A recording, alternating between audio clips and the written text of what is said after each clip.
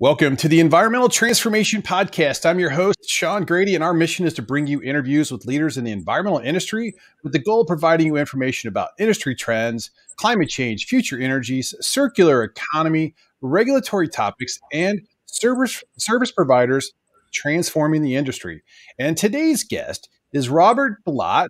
He is the partner at the environmental of the environmental practice area of the litigation department in the Cincinnati and Northern Kentucky offices of Taft, Stettinius, and Hollister. The, he's also the author of the book Exposure, and he, for the, many of you may know, he is the attorney behind the movie of the award-winning movie The True Story of Dark Waters uh, about the PFAS contamination in Parkersburg, West Virginia. Robert, welcome to the show. Thank you. Thanks so much for having me. Oh, wow. You know, I watched this show and, you know, it came out, uh, what, in December 2019. I just watched it, I want to say about four months ago. And it was on my list when it first came out, but, you know, it didn't have a long shelf life in the movie theaters. And, uh, of course, COVID hit. And so I finally got around to watching it and I was just amazed. I was just I, I didn't know what to say. I was like, oh my gosh, this is like the most important environmental movie that I've seen in my probably entire life. I mean, how did how did this movie come to, to be? Well, you know, it was a, it was a long time in coming. Uh, it was a 20 year process of litigation. And, um, uh, you know, we were actually, there had been an article that appeared in the New York Times Magazine in 2016 that was summarizing what had been going on for almost 20 years and trying right. to uncover the, uh, the, the contamination outside of Parkersburg with this chemical used in making Teflon. And Mark Ruffalo one actually had read that article and uh-huh. reached out to me wanting to find a way to to bring that story out to a wider audience. Uh, he was a little surprised to, to hear that you know that uh, this had been going on in the United States in modern yeah. times, and really nobody was talking about it, and nobody really knew it was happening. So, really wanted to try to find a way to bring that story to a wider audience. And you know, given the public health threat involved, I, I wanted to do what we could to to help bring that story out. So, incredibly fortunate to team up with somebody like like Mark Ruffalo, who was so passionate and people at Participant Media who just did, I think, a fantastic job taking oh, a story over 20 yeah. years and yeah. putting it into two hours. So. Oh no, yeah, I totally agree. And and just to watch the the the, the events that's transpired in that movie, just uh, I was amazed. And we're going to get to some of those those events because I've got a couple questions for you because I'm just you know, it, like I said, I mean, it's been it's an honor to have you on the show, just to see the fight that you've been fighting in the courts over the years for this type of, uh, uh you know, the, these these people that have been exposed in West Virginia. But um, you know, the the opening scene for those who have not seen the movie, you know, one of the main inter, you know, uh, openings is this this person, this this character is Wilbur Tennant. He comes in and you know he meets you for the first time and he calls you out by your childhood name. You're like, who the heck is this guy? and uh, know, at least that's the way it was portrayed in the in the in the movie, and, and I'm sure in somewhat real life it was the same. It's like, and he's the person really, you know, made made you have a, an interest in, in in taking on this case. Is that right? Yeah, absolutely. It was uh, individual's name was Wilbur Tennant. He was a farmer uh, from outside of Parkersburg whose cows were getting sick and dropping dead, and yeah. nobody would talk to him. Nobody would help him out, and uh, he reached out to me actually through contact with a family friend. Uh, he his friend was uh, good friends with my grandmother, and they had just so happened to be talking across the fence one day, and he was mentioning how he was really needing somebody could help him figure out what was happening to these cows. And my grandmother had mentioned her grandson was an environmental lawyer, so certainly I could help. So surely. yeah, and you're like, "Hey, grandma, you, you you can't just give out my phone number to just anybody, right?" But it sounded like it was a good opportunity. I mean, it, it, turned out to be a good situation. Although I think you uh, you you spent a lot of time and effort in this thing, as we'll get into. But you know, I've been in the industry myself for a little almost 30 years. Okay. And uh, I'm, you know, I'm a, a, consultant. I've been in consulting for 20 and I was a regulator for eight. and uh, before I got into consulting. But I am amazed at how many people in the environmental industry have not seen this movie yet. I, it's just yeah. cra- it's crazy. Well, you know, as you mentioned right when we began, you know, the, the timing of all of this, you know, the movie came out right at the end of 2019. Uh, it started to open up in Europe right at the beginning of 2020, and it was right as the pandemic was hitting.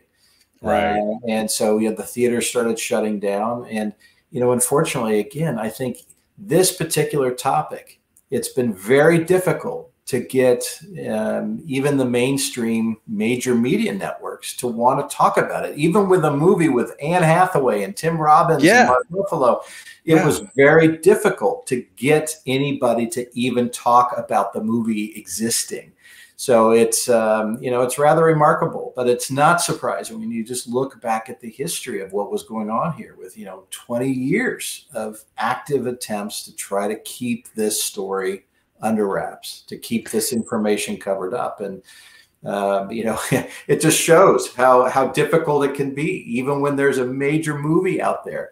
Right. Um, you know it's it's still difficult when you're dealing with complicated science that yeah. with chemicals with long complicated names that don't roll yeah. off the tongue. It's not like lead or arsenic. You know this is perfluorooctanoic acid and it's all these acronyms.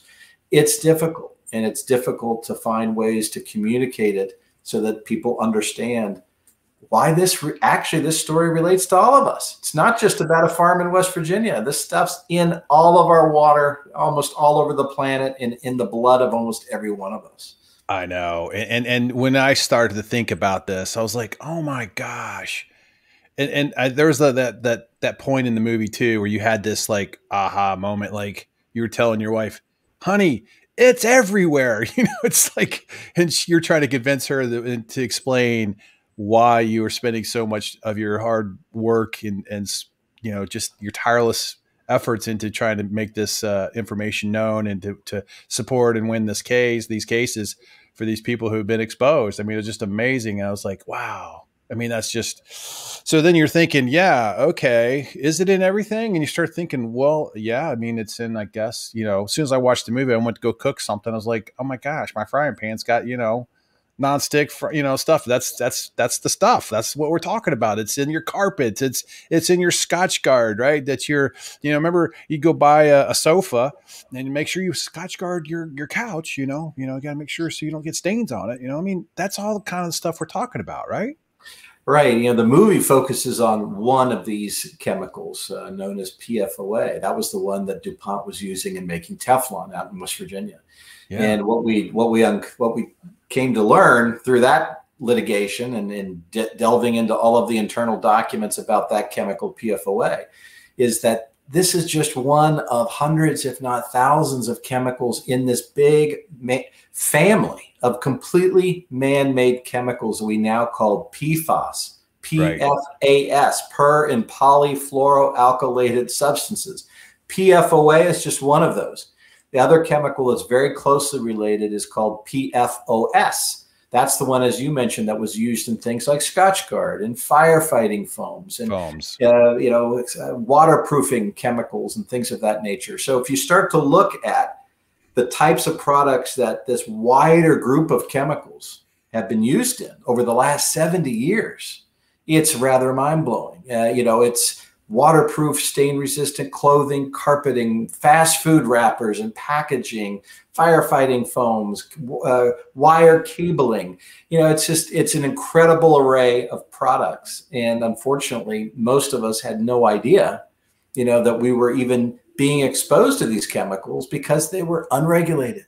We right. That's that's right. That was the, yeah. Uh, that is so, the whole that's the whole crux of this, right? So even though we've been using this stuff for 70 years, we're all just now learning about them. You hear them referred to as emerging contaminants. No. Yeah, the contaminants have been out there and have been used for decades and decades. Right. Our awareness is only emerging that yeah. they've been out there and right. you know we're still trying to figure out which products they've been used in because a lot of that's kept confidential by the companies that use them.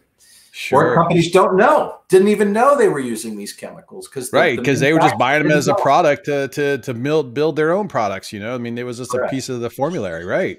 Well, how dangerous are the PFOA, PFAS chemicals, and why are they called forever chemicals? Well, you know, it's uh, the more we learn about these chemicals, the more concerning they are. And as you saw, if those of you that saw the film Dark Waters, or there's a documentary about this story as well called The Devil We Know, you see that there was this massive series of human studies that were done because as mm-hmm. we were mm-hmm. digging into all of the documents about these chemicals, what we found was the companies themselves that were making and using these chemicals, like 3M and DuPont, had all kinds of toxicity studies showing all kinds of different adverse effects in different laboratory animals, including cancer. You know, PFOA was found to be a confirmed animal carcinogen in mm. the early 80s. Mm. And you know, the, then there were two. There was a second cancer study confirming that it could cause testicular tumors, pancreatic tumors, liver tumors. Then there were worker studies Yet we kept hearing, well, but you can't prove that any of this would happen to people that are drinking it at the levels that we're finding out in the public water. Mm-hmm. So we did these massive new studies that you see in the film that took seven right. years, 70,000 people came together. right. That and at the end of that process, we were able to confirm, frankly, what we had been seeing in the internal studies going back decades. PFOA was linked with kidney cancer, testicular cancer, ulcerative colitis, thyroid disease, preeclampsia, and high cholesterol. And that was through this independent panel that both sides, including DuPont, picked these people who were to be independent, looking at all of the data, mm-hmm. not just what was published out there, but also the internal studies and doing these new studies, looking at all of that and confirm these six diseases. And since that time, that was in 20, that, that process ended by around 2012. Since mm-hmm. then, the new studies that have been done show even more disturbing findings, particularly with respect to impacts on our immune system. You know, particularly when we're trying to deal with the, the outfall of the pandemic here. Mm-hmm. These are mm-hmm. chemicals in our blood, in our water that can decrease our immune response and possibly even decrease the effectiveness of vaccines. That's some of the most current data that people are looking at right now, um, you know, for obvious reasons with the pandemic. So there's a lot of concern by scientists and regulators that the more we look at this, the more adverse effects that are being found. And at the lower and lower levels, we're finding that the the the adverse effects are being find being found at even uh, lower levels in in the blood or lower exposure levels, and that's what's really causing trouble because these chemicals you hear them referred to as forever chemicals because yeah. once they get out into the environment, they don't break down. They don't break once, down, right? No, once they get into people, they have we have a hard time eliminating them because they're they bioaccumulate, right? Correct, and so they build up to higher and higher levels. So there's a lot of concern that when you have these chemicals that can have effects at such low levels and they build up over time, that's why we're seeing now regulatory guidelines are getting lower and lower into the very low part per trillion levels because of you know, the unusual nature of these chemicals. You know the the one of the things I've noticed uh, from you know being on this side of the fence of the environmental equation here, so to speak, is you know, we're seeing, hey, we're we're talking about all these parts per trillion. I mean, like that is I mean, ridiculously low, right? Let's be, I mean, I'm used to treating, you know, say, so for some volatile organic compounds to parts per million, right? In groundwater and cleanups in soils and things like that. And you're thinking parts per trillion now? I mean, my goodness. But what's not really being communicated in this narrative, at least from what my perspective is, is really they're not linking those health effects to the whole situation. They're just talking about, well, we got a new regula- regulatory limit that we're proposing for this state. EPA hasn't even come out with a, an, an official number yet. I mean, they're prescribing, you know, maybe 70 parts, but they still don't have a, a, a real MCL that's official yet. I mean, th- it's unregulated. There's no real regulations yet. Some states are leading the way, uh, but that's going to be confusing. Uh, you know, as you go to state to state, that's going to be a problem. Um, and I just feel like the the the magnitude or the seriousness of this whole discussion around the health effects isn't really being highlighted enough to say this is why we're going to 70 parts per trillion or whatever yeah. the number may be. Yeah, I, I, share the concern. I think a lot of you know a lot of the people are just focusing on this end result. You know, the here's the number that we have to be concerned about. Here's the here's the level in water, and as you indicated, you know, at the federal level, we still simply just have an unenforceable guideline right. for two of these chemicals, PFOA and PFOS combined, of 70 parts per trillion. In states, while we're waiting for an official final enforceable federal standard mm-hmm. or an MCL. States have moved forward to try to set guidelines, and those numbers have gotten much lower than 70 parts per trillion. Some mm-hmm. states even proposing single digits. And, and again, the reason is because of the concern about these health impacts. You know that that we're finding a wide variety of different types of health impacts, and again, it's because this stuff, when it gets in us, it gets in kind of it sticks to the blood in so yeah. many words. I know I'm oversimplifying, right. but then it's circulating constantly throughout our body. And so we have this wide, different array of effects within the human body that we're mm-hmm. finding. Uh, and so there's real concern, particularly because the chemicals stay in us and they build up over time. You know, that nobody's really been able to identify a safe level. You know, what's right. the level where there won't be right. any harm? as opposed to well, where do we feel we can set it, and you know what, what numbers are we going to use? Uh, it's it's a real it's a real uh, it's it's it's incredibly difficult problem for regulators and scientists yeah. right now struggling to find out where should that number be. And what wow. we have seen is a consistent trend to lower and lower numbers. Lower, lower, yeah.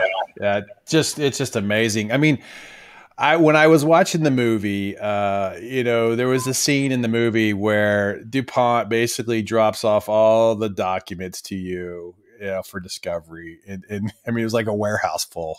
I, I I was like, oh my gosh, they're trying to bury him, and you know, like here, try to find the needle in the haystack kind of, you know, move here. It seemed like. I mean, of course, that's this is the movie, but you you can you can confirm this, but I mean how long did it take you to go through those documents to really, you know, start putting the pieces together and going, OMG, this, it's right here. Yeah. Well, you know, unfortunately, the movie was pretty accurate in the way in which the discovery process worked here. I mean, this, keep in mind, this started back in 1998. Mm-hmm. And, you know, this is the days before everything was on computer disks and before Everything right. was searchable on computers. We still went through good old hard copy paper files. Uh, you either went over and, and, reviewed the company's files, went through them yourself, or they sent you big boxes full of paper files. And so that's what happened. I got lots and lots of boxes of paper files and had to sit down and go through them page by page. And you know, this is one of the things I've pointed out when I've spoken with uh, law students in law schools is, you know, remarkably, um, it's a good thing that it worked that way back then because I don't know if we would have figured any of this out or discovered the whole PFOA issue if it had started today. Because mm-hmm. nowadays, when you start a case, you have to sit down and you tell the other side what what search terms they have to use to go through their computer database and find those documents for you. It's not like and good luck. Yeah, good luck getting it all. Okay. Well, we didn't know what we were looking right. for. We didn't know right. that there was a chemical called PFOA, and I didn't know it was called five different names C8, right. FC143. I would have had no idea what to tell them to go look for. So it was only by sitting down with the actual paper and reading them page by page that we were able to figure this out. And I don't know if we could have done that if we had to do it under the rules that exist today. Well, was there a moment, you know, when you were going through that process and you, you know, you had like this epiphany and goes, oh goodness. I mean, okay, it's right here. I mean, what was that like? I mean, what happened to you in, in that moment, in a sense? Because I'm sure there, there had to been one or two there that just went, "Can you believe this?" Well, you know, I think it was uh, it was gradual. It was a gradual process, and I think you know, again, folks who've seen the movie, or if you had a chance to, to in in the book Exposure, I try to detail a little more of this process. You know, I was I was fairly skeptical of uh, the story I was hearing from Mr. Tennant when he first came in and said, "This is there's information being covered up." You know, there's this there's documents that we aren't getting, and but it took me a while to actually start to see that what he was saying actually was correct. And, you know, some of this uh, I had to read over and over. I had to sit down with experts. I, we had to retain, you know, toxicologists and risk assessors and epidemiologists to, to make sure, am I reading this right? Am yeah, I do seeing, I understand this right? Right. Because, you know, it's, it's difficult when you, you see something that seems so inconsistent with right. you know if how could this be true? How if this is the case you know how how could this be in the water? How could how could this be going on for 10 20 years and nobody's said anything? I must be missing something. So right. it was a gradual process for me to realize this was as bad as mr tennant thought it was if and frankly was much worse.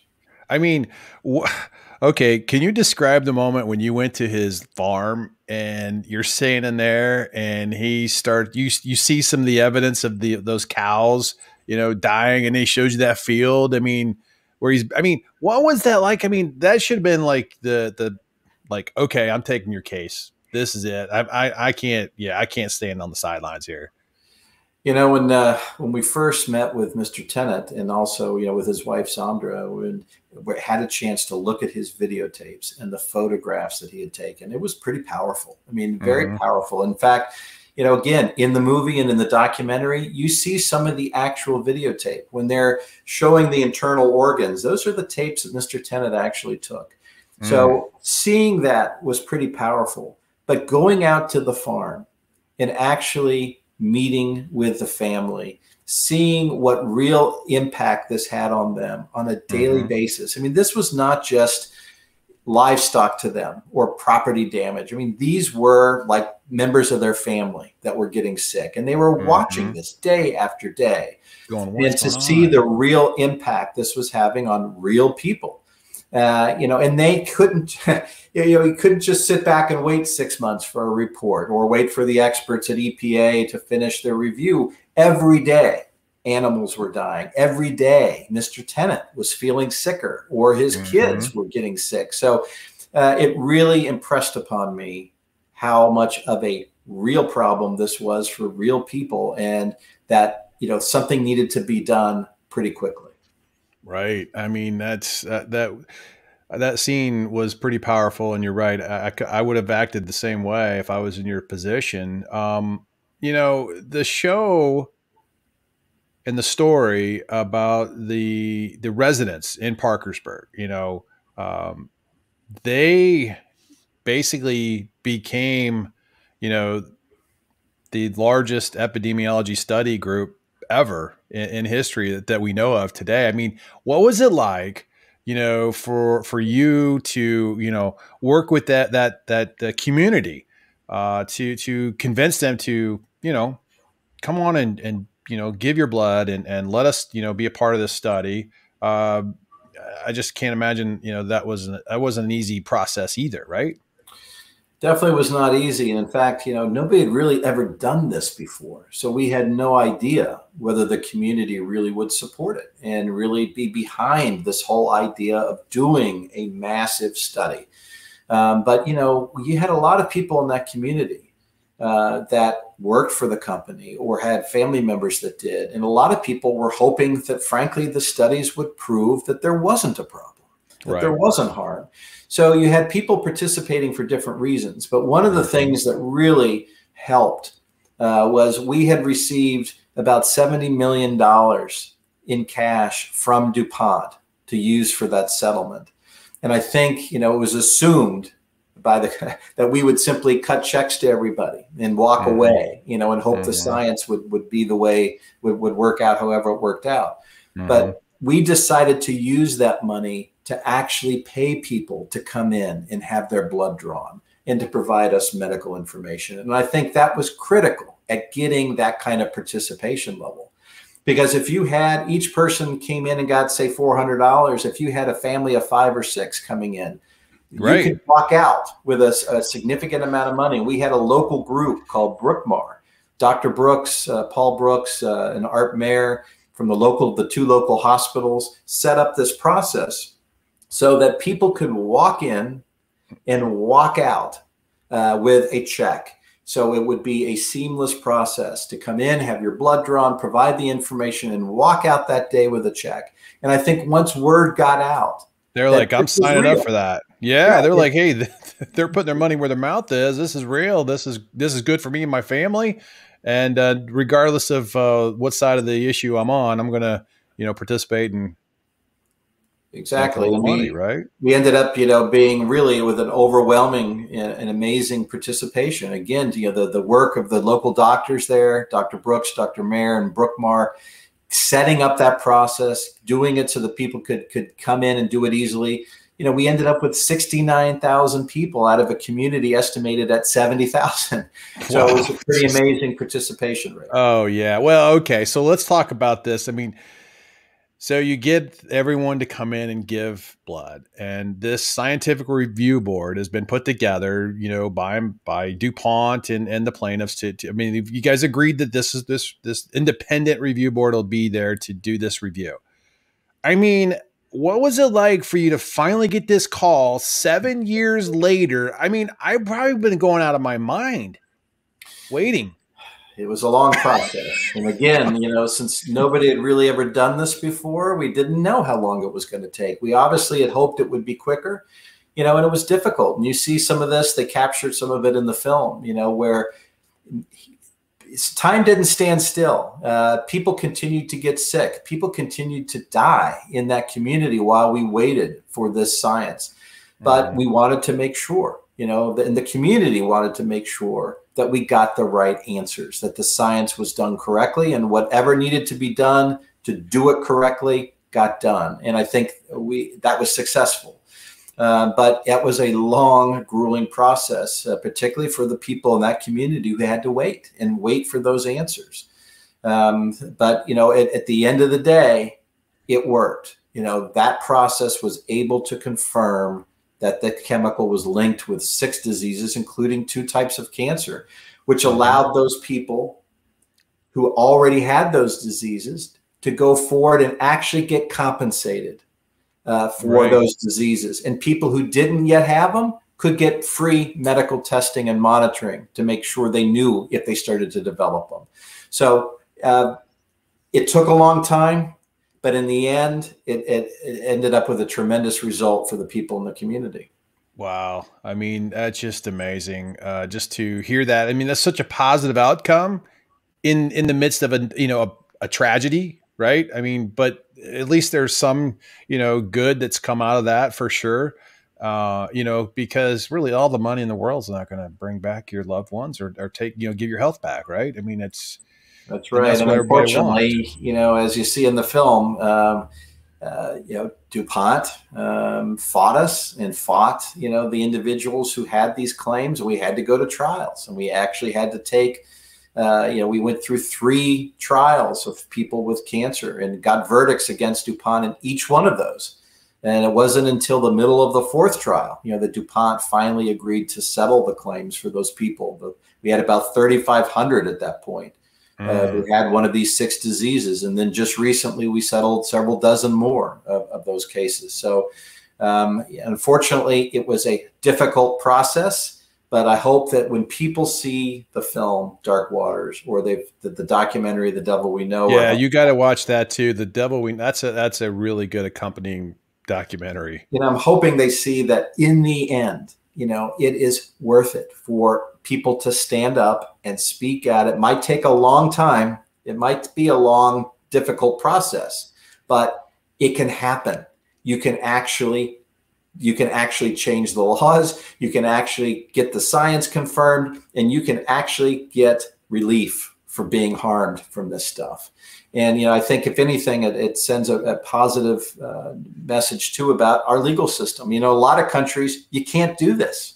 You can't right. go into court.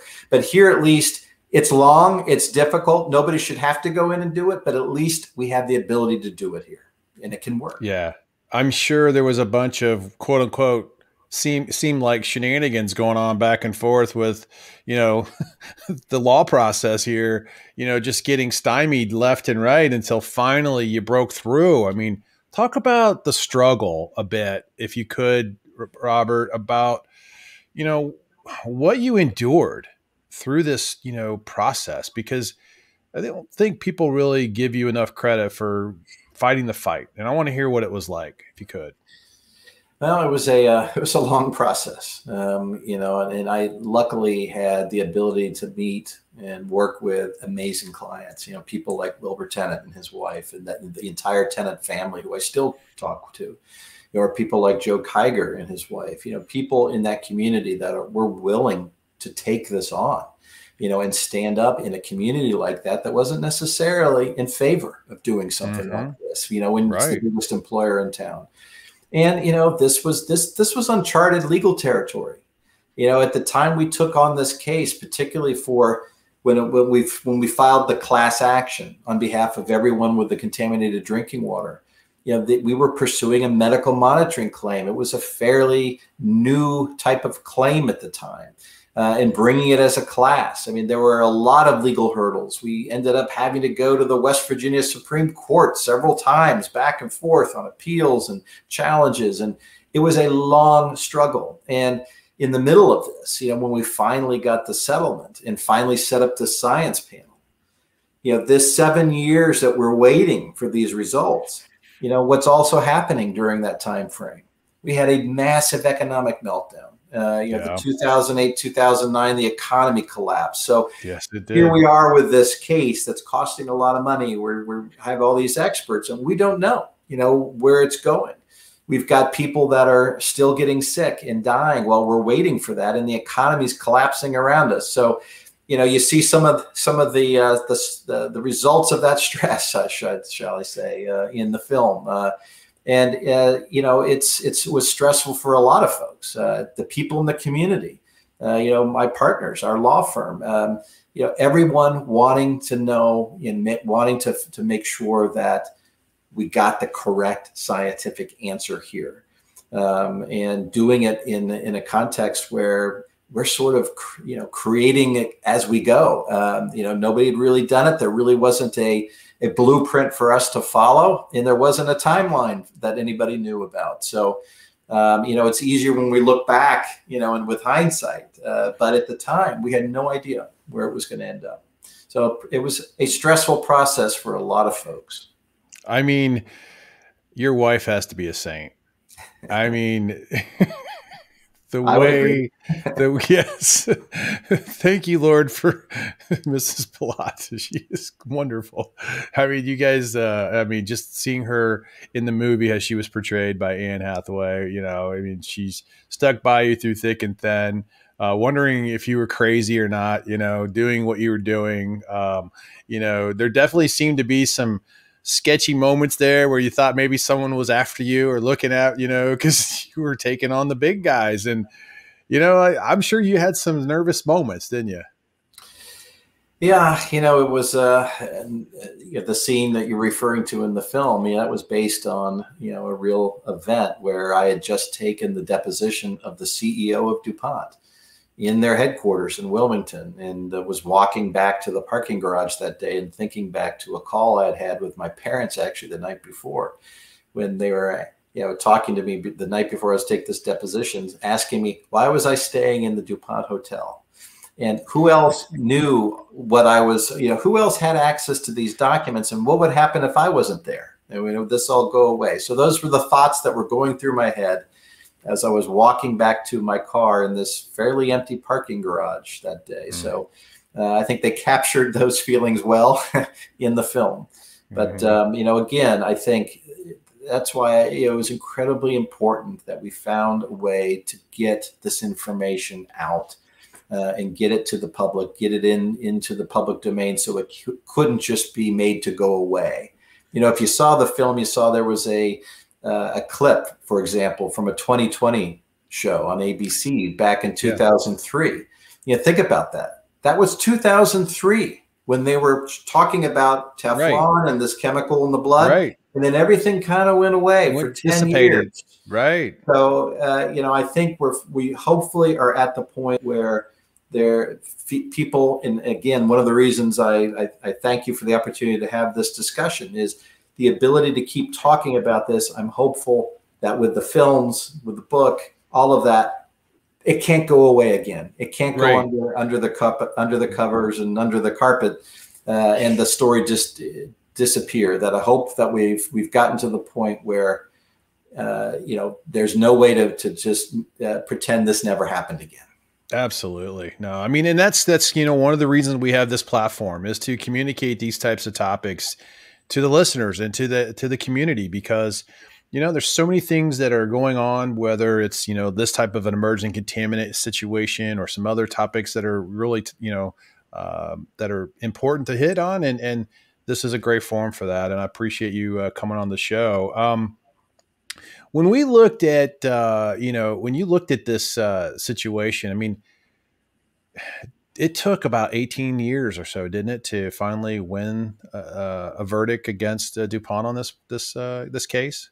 you know, I think we uh, we took on the case for Mr. Tennant in late 1998. We settled his case in 2001. Then we took on the class action in 2001, settled that the class portion in 2004.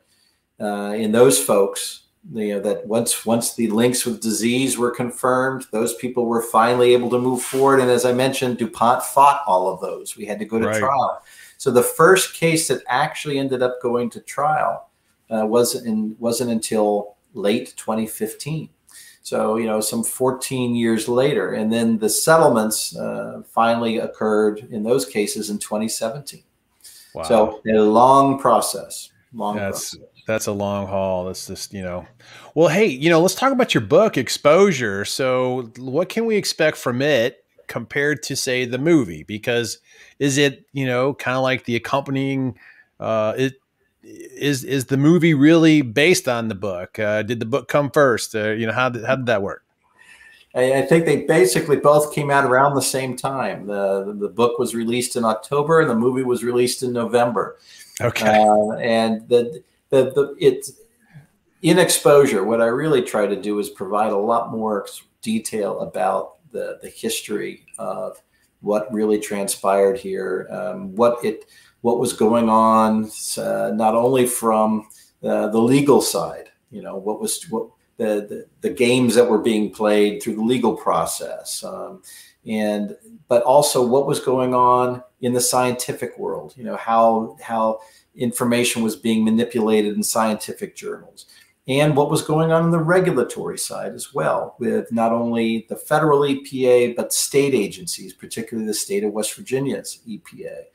Um, and then the legislative process, sort, sort of seeing all these different areas that were going on at the same time. And, right. you know, it wasn't just a legal case, it wasn't just as a lawyer walking into the courtroom and filing our briefs and handling everything there. I mean, this to, to to be able to do what we were able to do and finally get to the result we were able to get to, you know, we had to be also uh, dealing with these uh, regulatory issues, monitoring what was going on on the regulatory side, what was happening on the scientific side, what was going on with the with the manipulation of the media through PR firms and yeah. things of that nature. So the book really tries to show how all of these different things were going on in the background and gives you a little more detail about uh, some of the, the, the, the, strategy during the legal case and ha- what was happening in the scientific world, just a little more of the, the background of the detail.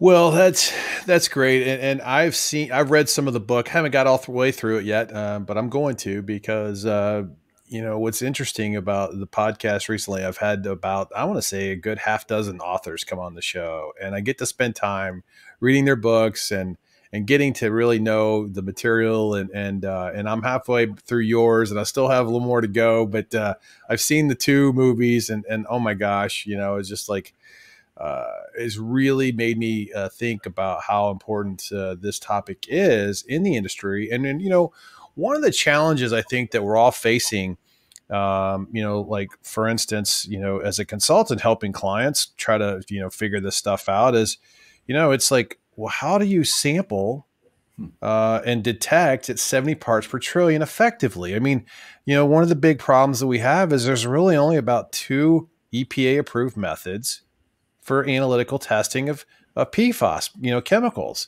which only gets you maybe about 45 chemicals at the max or thereabouts. I mean, there's, you know, you can't really see all of them yet.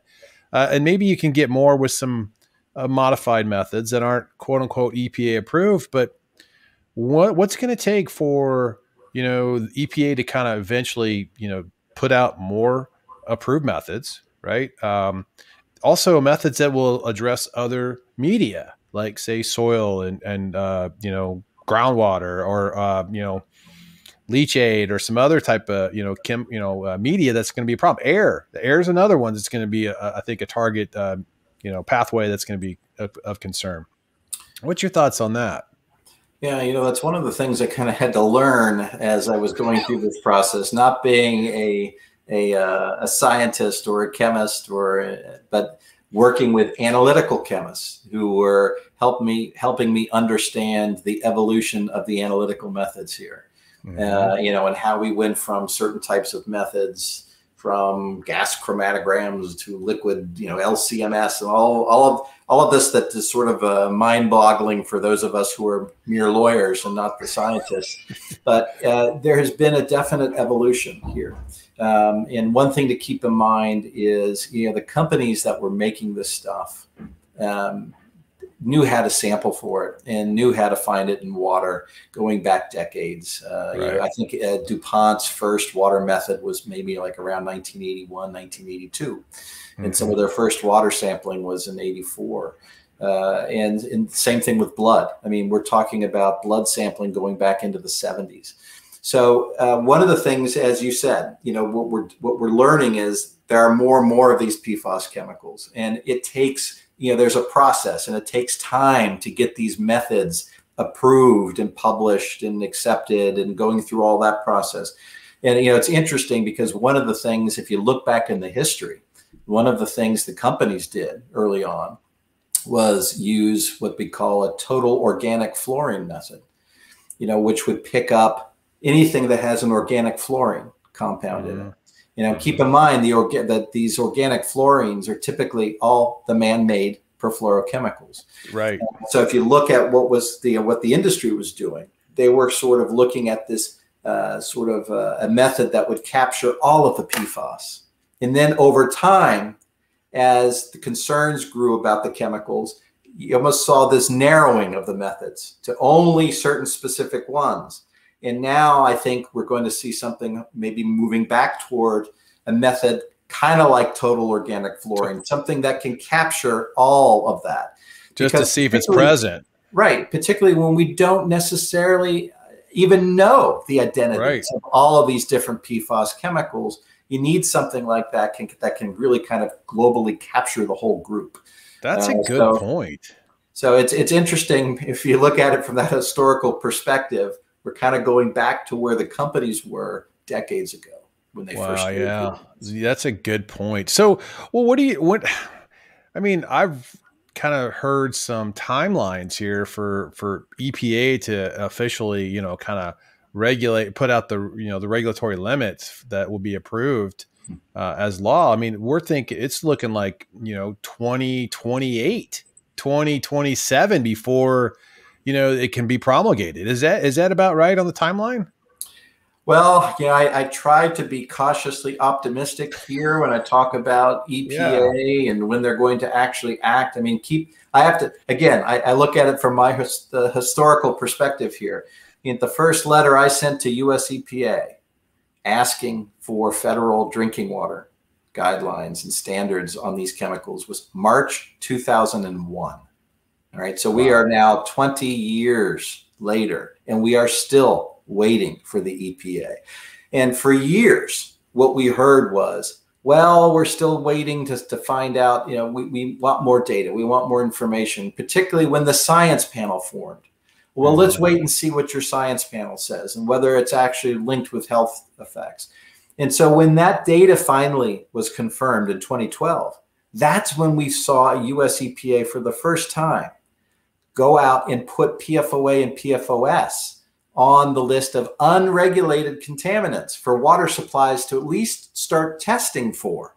Uh-huh. Uh, and so that in, in, what we were told was that's really one of the first steps toward the federal drinking water standard because US EPA is not going to adopt a federal drinking water standard for a chemical unless they know that it occurs across the United States.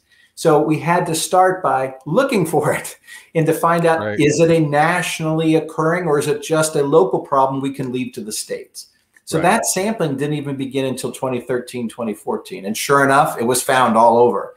So right. then we saw the first guideline come out in 2016 only after that New York Times Magazine article came out in January, which had said, "Hey, this stuff's all over the country."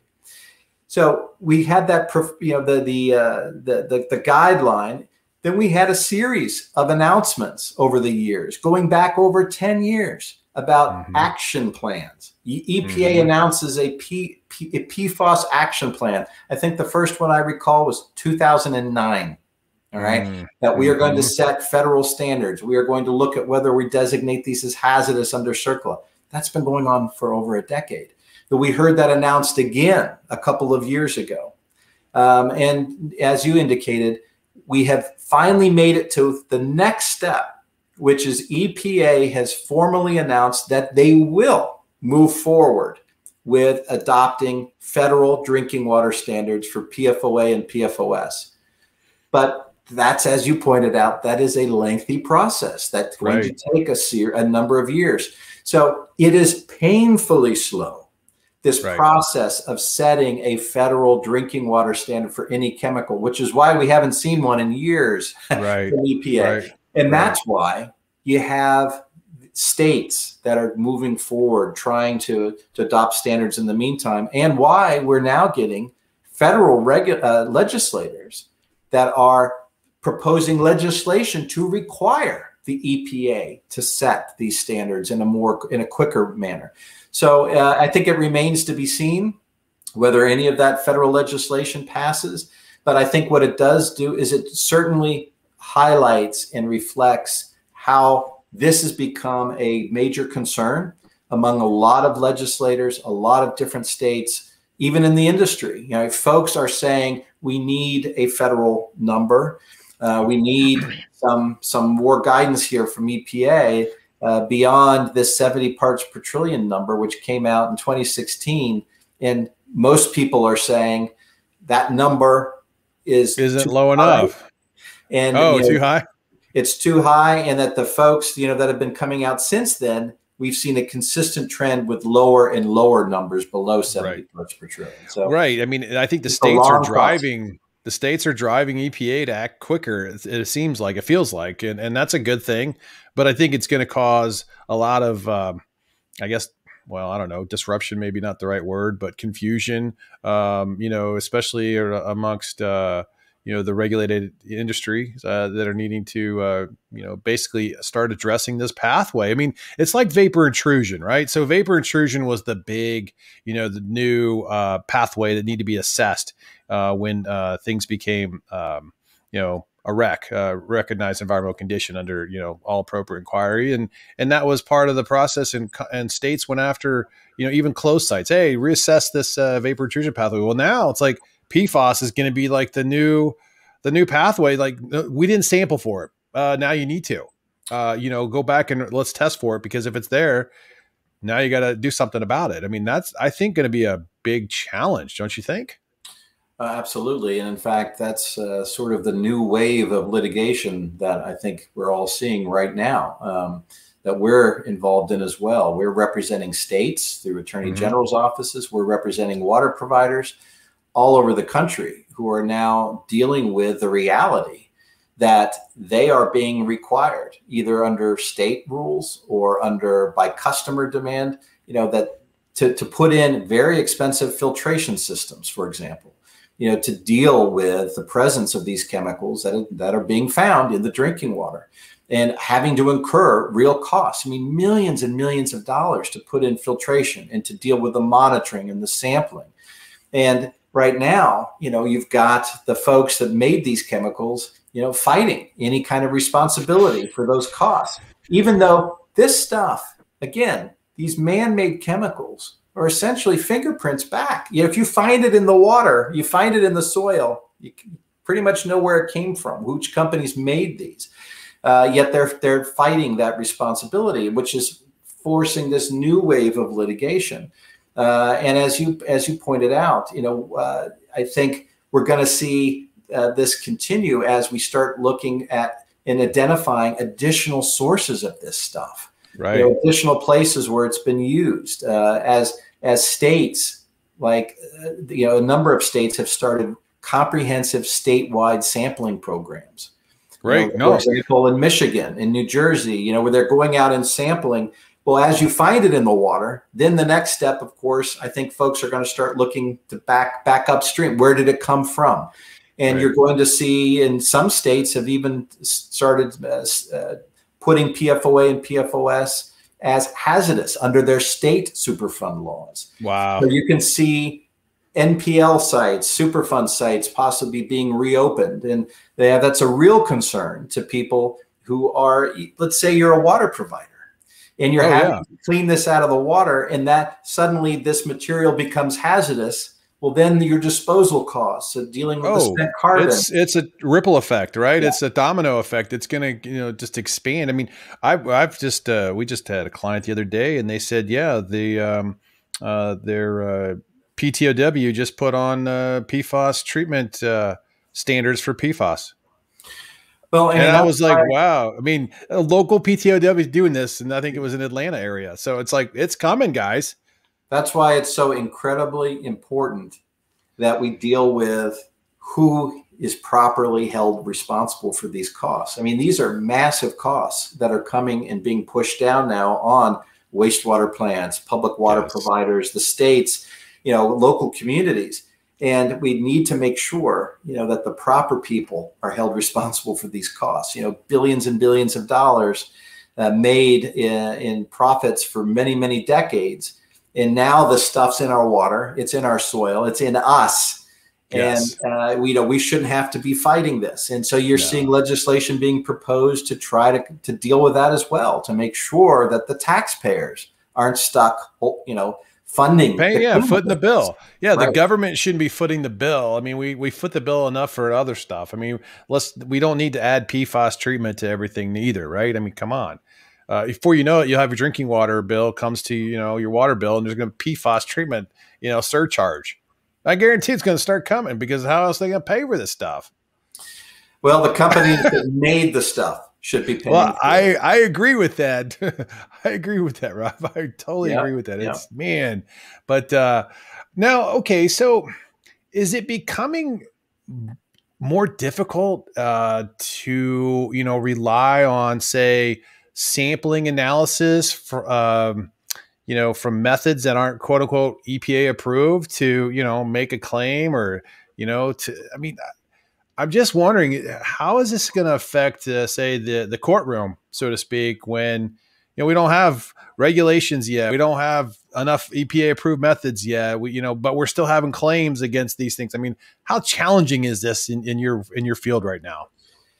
You know, I guess I don't think it's as challenging as it was when we started 20 years ago. Uh, and you know, particularly when. It, a lot of the cases we were dealing with, we we were using the company's own sampling results, so it's difficult for them to dispute their own sampling results. Right. You know, and now we do have we do have uh, you know approved methods for many of these chemicals, and in fact, most of the litigation you're seeing out there right now, um, most of it's centered on PFOA and PFOS, and I think mm-hmm. you know we've got validated methods for that. I don't think there's much debate going on right now about whether those are valid or not you know, I think they're they're as we expand the group, you know, and if we start looking at more and more PFAS, that may become more of an issue. But I, I haven't really seen that become a problem yet because it seems as if the regulatory standards are are coming after those methods have already been developed, and a lot of them are already out there. Oh, that's good. I mean, I I do a lot of work around you know waste management and compliance and RCRA, but I can't imagine if PFAS became a, a, a listed waste or, or, you know a hazardous characteristic hazardous waste. I mean, I think the industry would go absolutely crazy. Um, well, I think uh, one of the one of the dynamics really that you see out here, and I think uh, one of the reasons why there's such um, debate and discussion going on right now about whether these chemicals, particularly PFOA and PFOS, should be hazardous, is a lot of the places where this stuff's been found in the water have been outside military bases, outside Department of Defense facilities, where particularly firefighting foams were used sure. in the past. And so you have massive contamination. Um, and the, the Department of Defense or the military sites have been taking the position that we somehow can't go out and clean it up because it is not designated hazardous. You know, and our budgeting Under only allows us to, to, to use our funds for designated CERCLA hazardous substance cleanup. Sure. So we have this sort of catch 22 going on. Yeah. Um, and in the meantime, the communities and the water districts, you know, are caught in the middle. Um, right. Uh, but, you know, the reality is, again, in those situations, those chemicals all came from these same original manufacturing companies. Back to the uh, source, right? Yeah, yep. And so that's where you're seeing a lot of this litigation right now, particularly a lot of these cases that are involving firefighting foam You've got thousands of these cases now. They've all been consolidated into one federal court proceeding down in South Carolina, where um, you know these issues are playing out right now in the courtrooms. What's your take on PFAS uh, responses? I guess from a global perspective, I got to imagine you've been contacted quite a bit to address or support you know cases outside of the U.S. What what's that been looking like? Uh, what's your take on you know what other countries are doing and how bad is it in other places? Yeah, I think um, you know it, the PFAS problem is a global problem. You know, this stuff does not respect national boundaries. It doesn't respect state boundaries. I mean, these chemicals move globally. They not only move through the water, they move through the product stream, they get up into the air. And you know, there's been a lot of studies done showing that the way this stuff moves through atmospheric transport, you know, it falls down in the rain. It's why we're finding this stuff in polar bears and Arctic ice caps. Uh, you know, it's everywhere. And because of that, we're also seeing global awareness now that we need to be dealing with PFAS in a global way, in an international way. You know, you, you regulate it and that's great that we're phased out PFOA and PFOS, for example, the eight carbon C8s here in the US. Manufacturing is still occurring in other places. So that stuff then moves through the environment um, if it's still being made somewhere else. So I, I have, have uh, had the opportunity to speak with a bunch of different international organizations, with the UN, certain groups within the UN as well. They are focused on PFAS and they are focused on trying to find a way to address it. They're, they're looking a lot more at it as a class of chemicals than we do here in the US. You know, in the US, particularly at the federal level, we're still very focused on one chemical at a time. You know, in mm-hmm. this this case has been used sort of as the poster child of how that doesn't really work very well. Look how long it took to get all of the information out that was there for decades about yeah. PFOA and we still haven't got that regulated at the federal level. You know, if we have to do that for each one of these PFAS, 20, 30 years for each one, and meanwhile we're all exposed, being used as guinea pigs. So in you see a movement now to try to address PFAS as a class, kind of like dioxins or PCBs, you know, that we don't address each one individually, but you look at the shared characteristics of the chemical, I mean, of the carbon fluorine bond. Uh, right. You see a lot more of that being discussed overseas, frankly, than we've seen today here in the US. But there are definitely efforts to deal with this under international treaties, you know, to have them listed under the POPs Treaty and, and Stockholm Convention. So a lot of effort right now. Um, I, yeah, th there are massive contamination sites, not just in the US, but yeah. in Australia, in New Zealand, in right. the Veneto region of Italy. There's a massive contamination site there. Um, in Germany, in Belgium, there's been a lot of news lately about a facility, a 3M facility in Belgium. So it's everywhere. It's everywhere. Wow. Wow. Well, I mean, Robert, thank you so much for coming on the show today. I mean, I feel like I, I want to go longer and get some more details and have a, a, good conversation. And maybe what we could do, fingers crossed, we bring you back on the show down the road and, and maybe do an update on what's going on in the PFAS world because it seems like I'd imagine this is probably a full time job for you. well, I'm in my 30th year at the Taft Law Firm and uh, now 22 years working on PFAS. And uh, I think we've got a lot of work to continue, but at least I think there's a, a you know a good message here with the PFAS story, and particularly with PFOA that things can change. You know, and even even if it seems like insurmountable odds, you know, how do you get something that's completely unregulated like this that's been out there for decades? You know, it's happening. We're seeing the laws start to change. We're seeing the regulations start to change. We're seeing activity at the national, federal, international level. Uh, and all of that, you know, because, uh, you know, that it's doable. People standing up, speaking out, insisting that we address these problems. It can be done. It's It may take time, but yeah. it can be done. Yeah, no, I agree. Well, you know, again, such an honor to have you on the show today. Thank you for your time. Really appreciate all your hard work on this and, and the outcomes that are happening and just the, the the change in the industry and the minds that are being changed in, as as it relates to how bad this chemical or these classic chemicals really are. And uh, so much more to come on this topic in the future. But uh, thanks for coming on the show today, and we'll look forward to catching up with you down the road. Thanks so much. It was a pleasure being here.